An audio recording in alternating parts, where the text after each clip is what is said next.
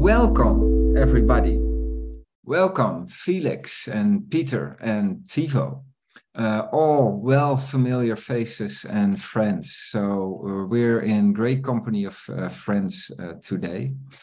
Um, we are going to hear something now about uh, SingularityNet Ambassador Program. And I think Peter will give a presentation, and then maybe Tevo and Felix will give their uh, uh, perspective on it, and maybe I'll have a few questions. I don't know. But first, guys, let me uh, introduce you properly.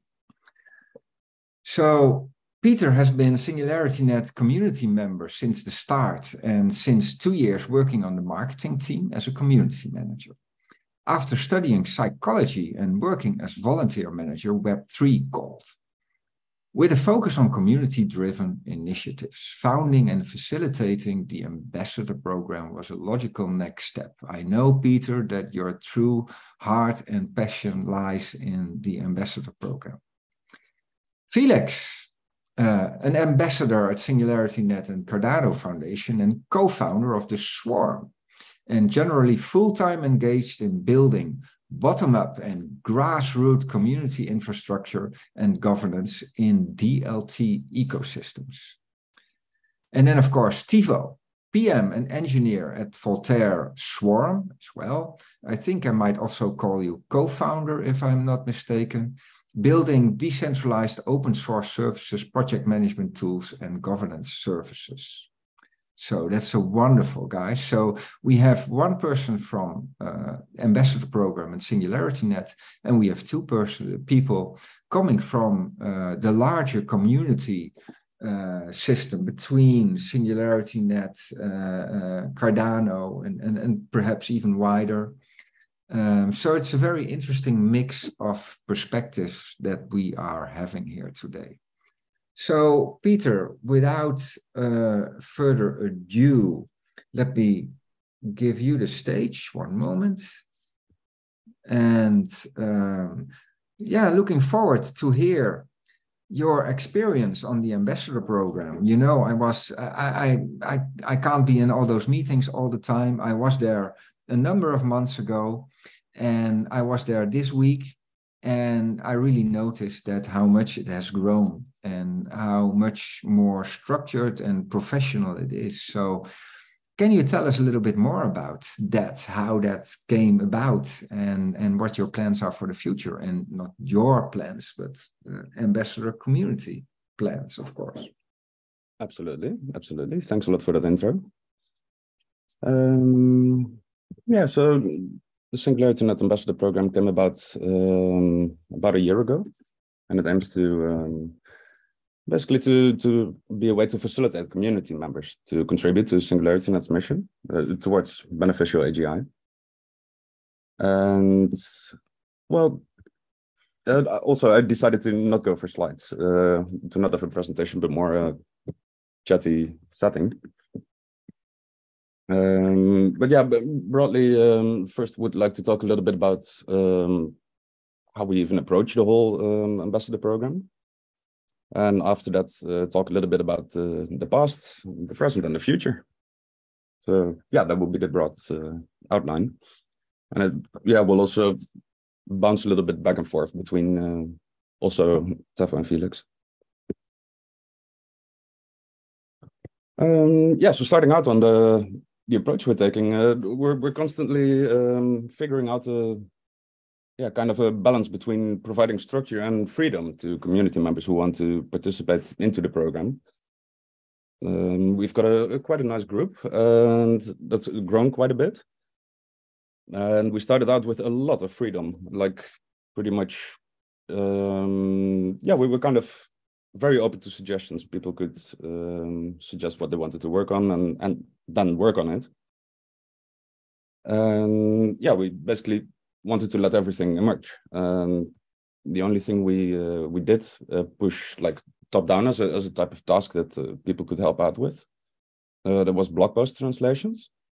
That kind of felt like a yeah low hanging fruit in a way, a simple task with a high potential impact.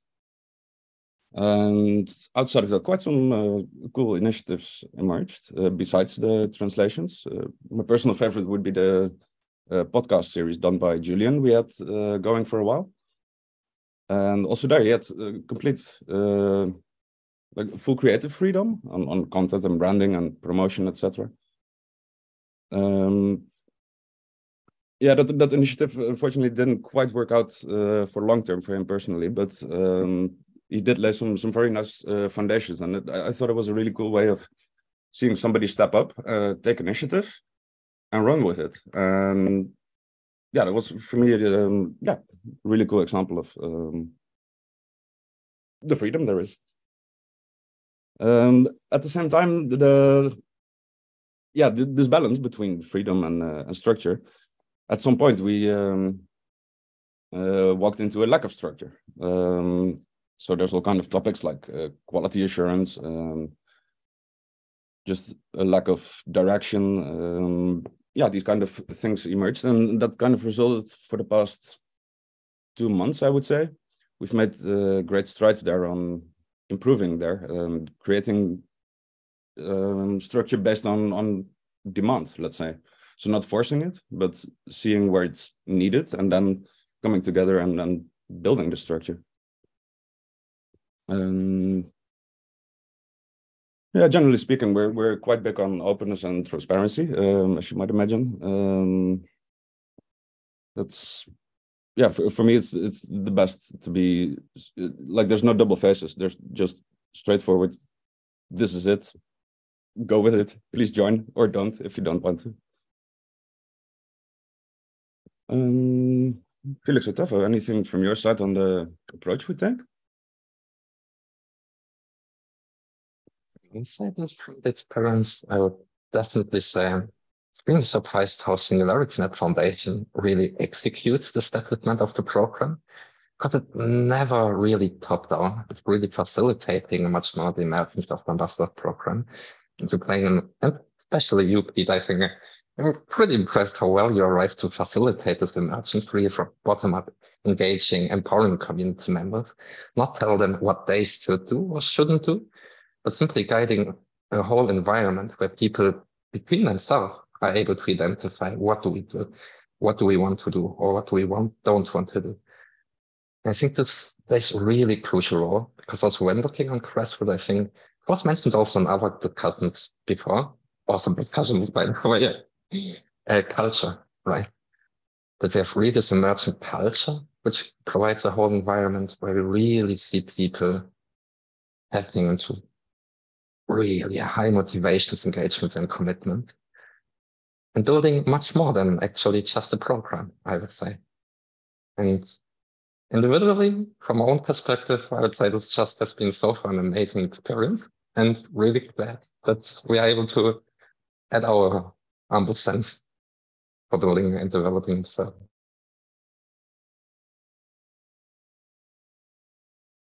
Yeah, I like the fact that uh, what you mentioned, like the off the cuff, uh, like freedom, and it, what you think is the next viable step, and the people who joined, and the opportunity for experimentations. And I think it was a good timing where I was also looking. Okay, we had experience in Catalyst and in Swarm, and where could we leverage these learnings of how to incubate these new opportunities and uh, your space like perfectly fit to to test out and new iterations of how could we start collaborating in in higher scale and and build structure based on the people who join and how they want to do it. Yeah, for me that was super nice to uh, experience at the very early stages of the program to have both of you coming from uh, Catalyst Swarm side um, proper experienced and full of ideas and and things to experiment with. Like from my point of view that was like okay we can do it. Sure. Yeah let's let's go. That was just yeah it's amazing. Uh, jan? Yeah i'm not sure if it is is it okay if i ask a question uh, now and then? Of course. So so what what i'm really really curious about um, and uh, is the perspective from uh, from Tevo and Felix because you see uh, more than we see. You see uh, from a certain perspective what is happening in Cardano Catalyst, you see what is happening in Deep Funding, and you see what is happening in Ambassador. So I have two questions actually, but the first question is I know already that the uh, characteristic of how Peter does things and how I uh, do things is a little bit different. I'm not sure if it's just uh, personal character or if it's also differences in the program, probably both. Um, but I'm really curious about your perspective on that. What, what are the differences and what are uh, the positive things that you see in Ambassador or what are things that can be improved in other programs like deep funding? First thing I will say is that like that was a concept like rapid funding mechanism uh, started also in Catalyst one experiment. And I think ambassador program kind of visualized more that streamline of potential to, that, to put that incentive right at the start at the play where in deep funding it's more more at the time more planning more structuring more like understanding the guardrails and then packaging that as a iteration or let's let's play this game where in Ambassador it's more like simulation happening at the same time. Like it's a bit more every week changes. Every day changes. Every meeting changes things. And what's your uh, perspective on that felix? Pretty much second what you said already? Well not sure what actually to add to this because yeah then, then I would literally say the same, just in other sentences, maybe, or other words. My other question would be um, what is the secret? You mentioned, Peter, that you started out uh, being very open, and then you saw that things were not quite structured. And in the last two months, there is structure appearing. I think that is a great thing if you can let things grow and then let structure emerge instead of just uh, putting it on top. So I would like to know what is your secret there? How do you do that? Well, the secret to letting things emerge is to not do too much. Uh, first of all, like things emerge. So yeah, uh, that's that's just. Uh, I mean, not just doing nothing, of course. Um, there's um, I, I think it's small nudges here and there, like putting the right person with another person, uh, putting them into contact, that can create magic in itself. And if that happens at the right time, or yeah, it's it's, it's small things like that. I think which which can have super big outcomes if if the uh, interaction has this kind of magic. And and and what made that uh, pivot then? That first there was uh, unstructure, and then a structure suddenly appeared? Was that just the natural way that things go if you just let, uh, uh, let go, or did you do specific things, or did the community uh, uh do specific things to to? Uh, yeah, exactly.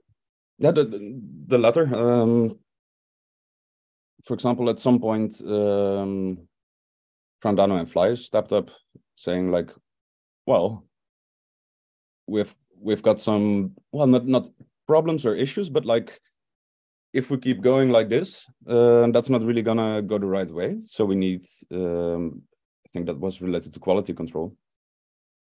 Um, just to maintain a specific uh, like a certain level of, of um, quality on on output for um, i believe that, yeah it was marketing guild related. Because in a way if you tell people like well we need an infographic and that's it. Like there's no no no strategy behind it but just like well go make some nice images which have something to do with singularity net like that, that that's way too too vague and that, that doesn't get you anywhere.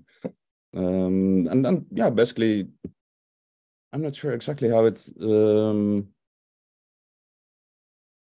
yeah they they made that uh, pretty clear and it might have been magic actually. I'm not entirely sure well, I, I, think it is your magic, uh, your Zen master magic, uh, being able to resist to uh, do. Uh, in, in Zen, not doing is the biggest thing uh, to reach. And uh, there I can really learn from you. Um, uh, sometimes you have to let things emerge and let things go and then to see and to give it the opportunity to grow by itself. And i can totally imagine that then you have to go through a phase where you, where maybe it looks like chaos but it's a necessary phase to let these structures and these people also that that do these things uh, emerge from that. So yeah thank you for that answer. And um, i'll keep learning from you well, that works. Well, I would, sorry, Felix. thing I would like to add is actually, from my perspective, is really start with simple tasks. With real simple things like in a chess game, you can have, you should definitely should have a strategy and a longer term goal somehow. The best thing you can do is the next move. And only one move. And you repeat this. This is nothing else what you do in chat. You repeat moves, right? And I think for, especially for ecosystems like this, where you definitely want to have strong contributors, you can't expect from them what you expect from yourself. As you said, not even aim to get them as fast as possible to this point where you may be able to expect from others what you expect to, from yourself, but more how is the process? How can the people educate, onboard, introduce themselves to the ecosystem? And how can we make sure that the value which is built through really simple repeating tasks does not end up in, into chaos, then let's say, for example, because this, this, this would be, let's say, the danger of it, right? On one side, providing the comfortability and the trust to people that, hey, here is a space you can engage. We want you to engage. We look on you, we help you, we facilitate and we guide. Though on the certain side, you also have to provide certain, let's say, security and responsibility to the people, right? Because this is something that needs a lot of time for being built, actually. And then you have the whole thing with tools. All the tools we need don't fucking exist yet. That's mostly a challenge. and people understand this quite quickly. And then we have problems like, oh, okay, we have people from all over the world, from different cultures, different nations, speaking different languages, trying to come together in this whole thing. And then once again, really shepherding, not being project manager, a CEO or CEO or whatnot is, let's say, vertical hierarchy, but much more like guides and shepherds, right? I think if people understand this, they have a much higher motivation to engage and to participate and to sign commitments and responsibilities over a long time. That's why I actually like this space where you have like, oh, tools don't work. What work? Humans just do operations. They okay, I manually do this, I combine this, I share this, I create this, and then it becomes a coordination of people being present. And instead of tools, you have builds, workshops, and like these kinds of entities of vision that what is the expected outcome from that. And yeah, that's cool.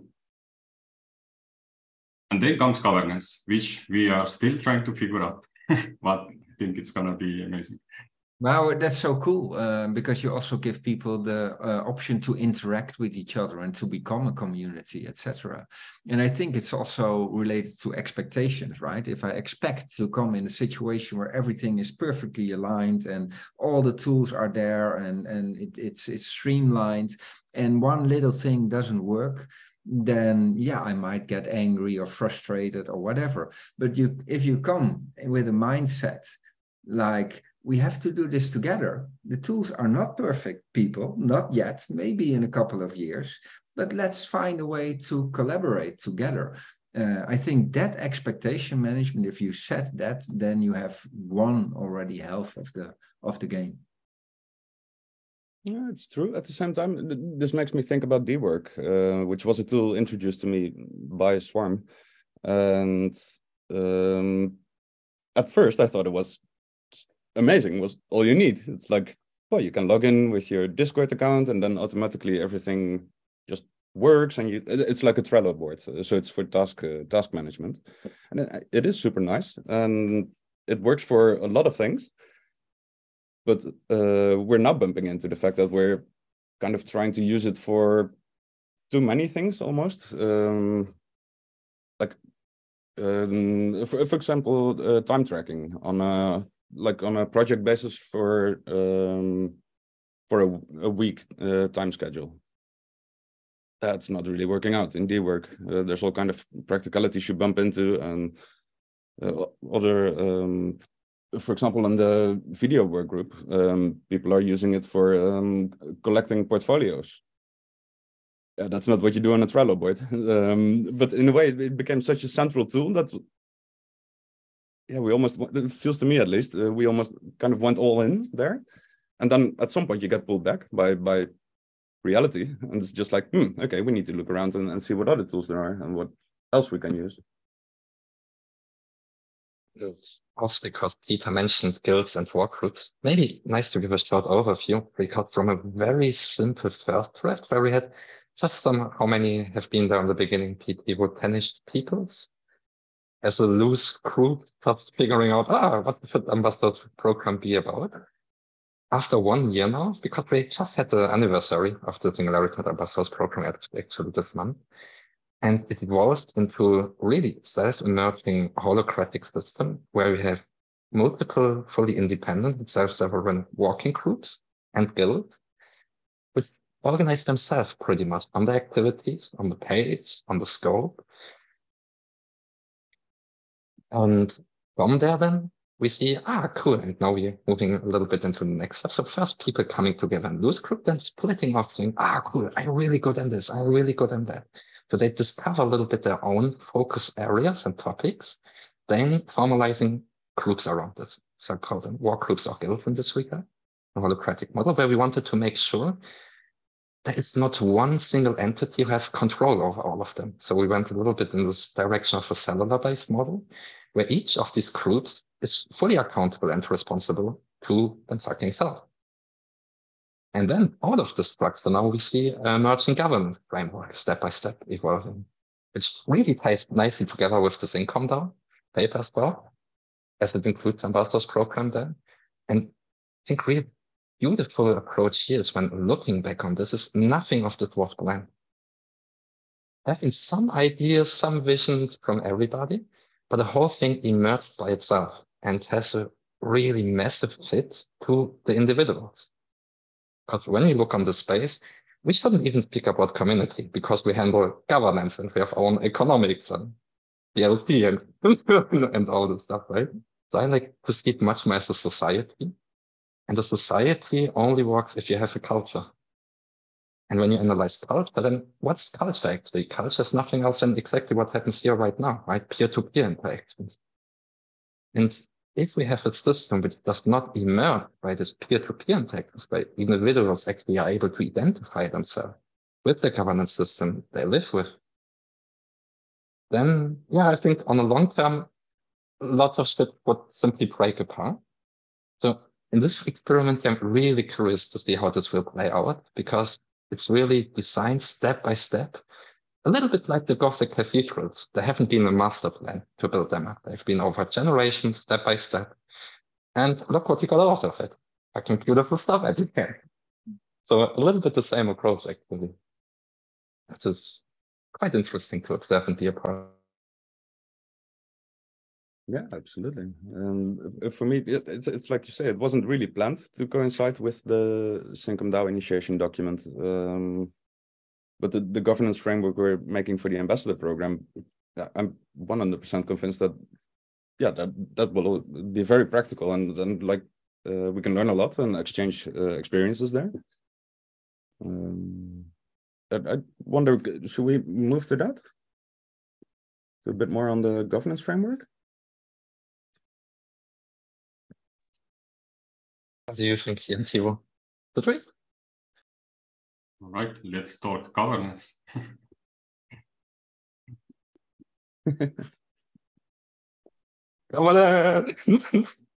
I think um, Felix, in my mind, uh, although it's a really um, a community effort, and and the, the, comments on the the current version of the document uh, are almost well, I think they're bigger actually than the, the actual content. So it's it's really a a crowdsourced document. Um, but you did instigate that, so maybe you could um, give a little bit of an like an, an overview?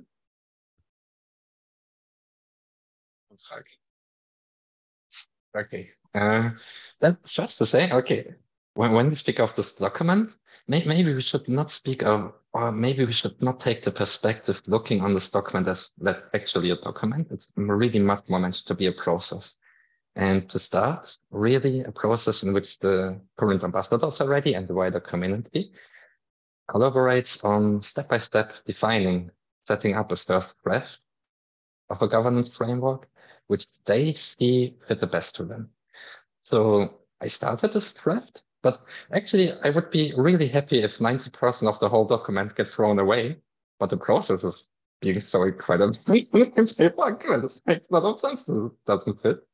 But on current stage, it outlines a little bit nothing else than the next state of what happened the last year already and just formalize it a little bit. So a structure of a holacratic, I like to call it cellular based governance framework, which, yeah, like mentioned before, which just uh, gives full, let's say, independence and self-sovereignty to each of the working groups. In a model where we don't have one single entity controlling everything, but rather a collaboration of bodies working together on maybe a common vision, a common mission in the best case, and a lot of techni techni uh, technicalities for sure in the document. The whole thing actually, well, fucking no idea how I should describe that because it's such a.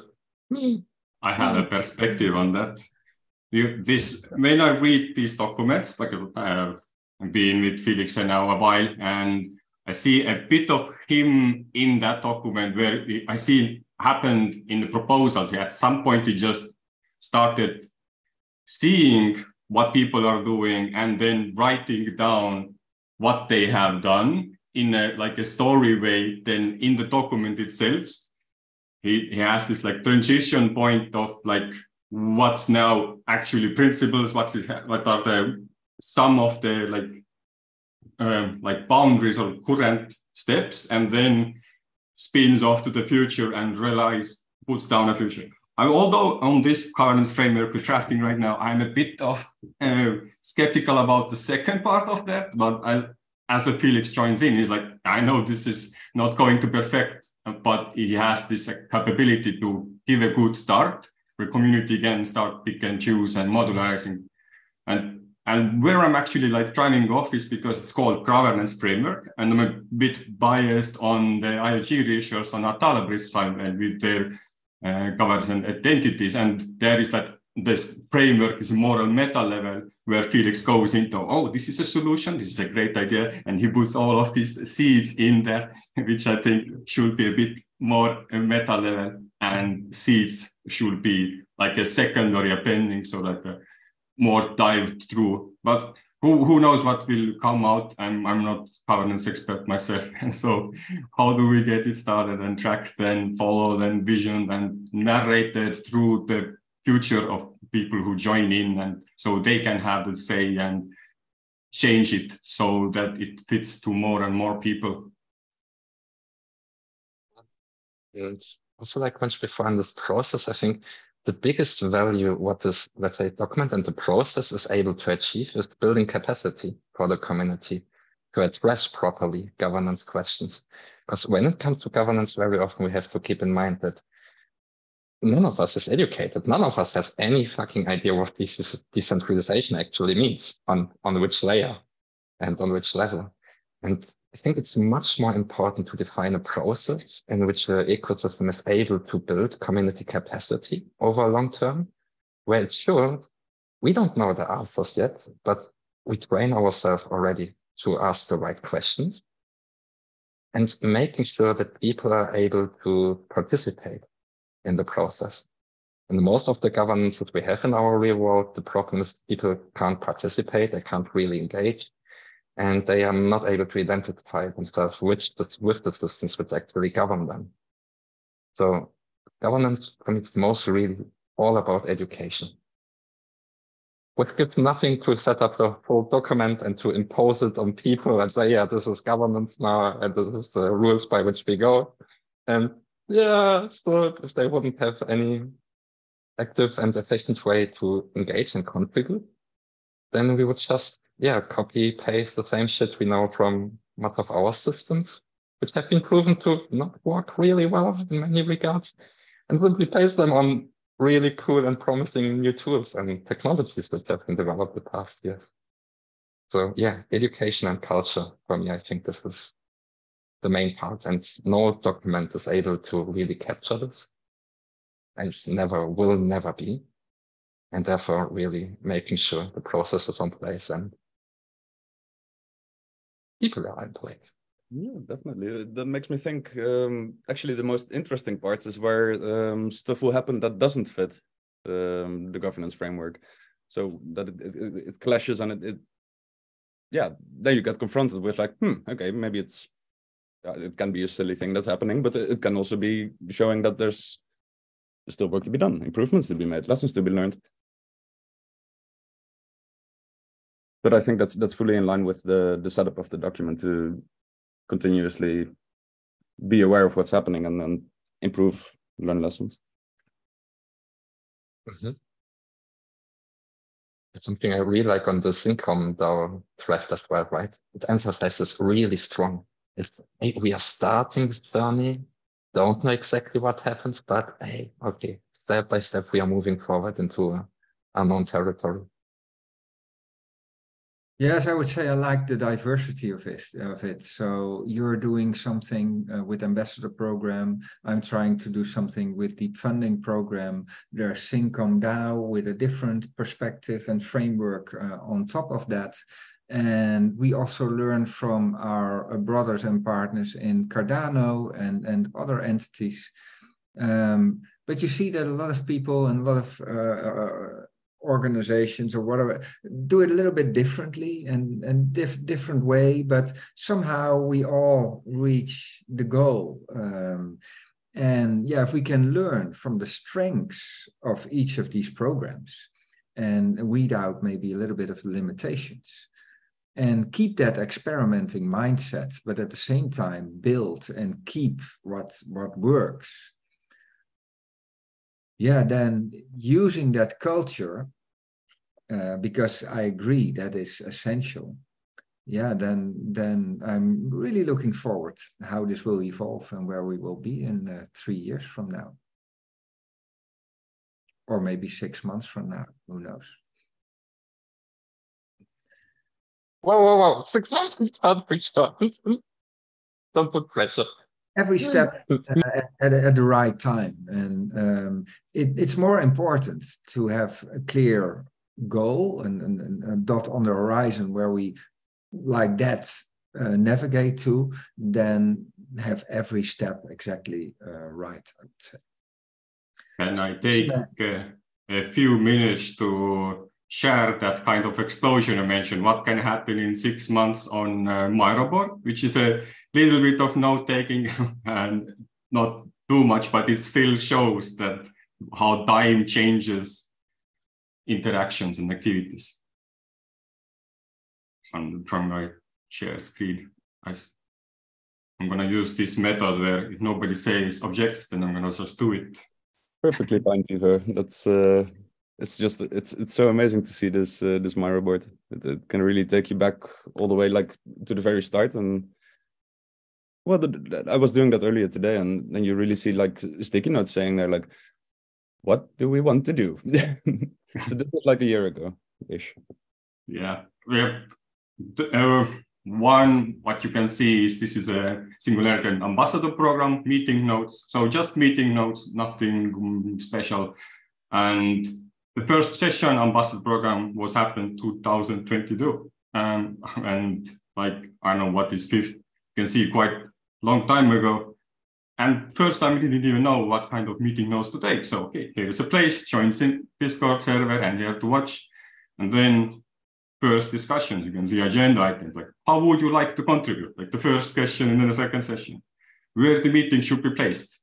Where, what is the purpose of the ambassador program and every week meeting, coming together, sharing information from different things what's happening, what people are starting to do. And if you zoom out, you see a little that some other meeting notes where I was uh, present, I was taking like in the same timeline. So we're able to go like the more time you move to the right, you just see things happening, more content being created. And at some point, there was a, um, a place where we went a bit of like even deep, like um, Peter at the start mentioned, like the translation process, and like that was the first thing from top down in a sense. But I still thought thought let's let's try to automate, let's try to streamline it, and then if I go into this, at first it looks like very scribbly and trying stuff out, but over time, over iterations with community members, creating like a bigger plan, like iterations, and then having like a clear process where we can see how things are moving, who is doing what, and why we're doing, and scope to a specific uh, tool called Dework, what was mentioned. And of course, we, we now have to figure out, okay, the issues there, how can we leverage that, what are the operational activities, and then scaling it up. Now, now we just don't have translators. Now we have people who are actually onboarding more translators and and doing starting like creating their own organization around that and like how does this onboarding process works and training itself and like, this kind of process has been quite interesting to follow. And back to these meeting notes when i zoom out you can see it's scale smooth still it's more thin line. You have this one year breakout point now starts to lag on me because content is expanding. And now we feel full stop. So if the next week you join in ambassador program, you will be joining to the new uh, meeting notes. And I also took a nice slide deck from Tore Garbash to repetition, predictable funding, gather off, then decentralized treasury. Like what he mentioned, like, oh, you're doing this. We're we're actually working on this. And it gives like good category to think about, like where where have you reached? Yeah, that was a, a quick detour to Microverse. I will share it on people in the what a great archive Tevo fantastic. Wonderful to be able to see all of that back and you guys must have memories of each miro board and knowing the discussion behind it and etc yeah that's that's lovely. Uh, i suppose you should make an nft out of that but um yeah yeah. So yeah, people out there, you can be part of that. You can be part of that Miro board in the next uh, next space.